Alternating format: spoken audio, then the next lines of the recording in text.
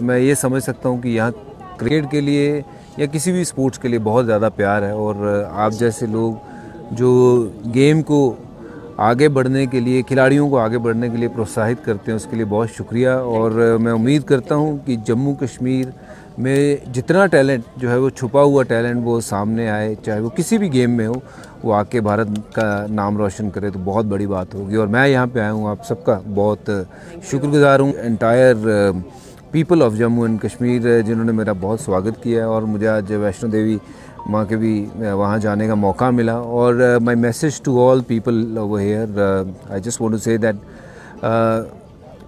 किसी भी चीज़ को पाने की कोई सीमा नहीं होती है। और ये आप मत सोचिए कि छोटे जो गाँव में आप रहते हो तो बड़े सपने नहीं हो सकते। क्योंकि मैं भी एक छोटे गाँव का था, जलंधर का। पर सपने बहुत बड़े थे। आप भी सपने बड़े देखिए सपने ज़रूर सच होते हैं पर उसके लिए मेहनत करिए। More than happy to be part of you all and such great work you all are doing to bringing bringing together society together to motivate them yes बिल्कुल और स्पोर्ट्स एक ऐसा माध्यम है जो सब खेलते हैं और सब इंजॉय करते हैं एंड uh, जितना इसको बढ़ावा देंगे उतना अच्छा है।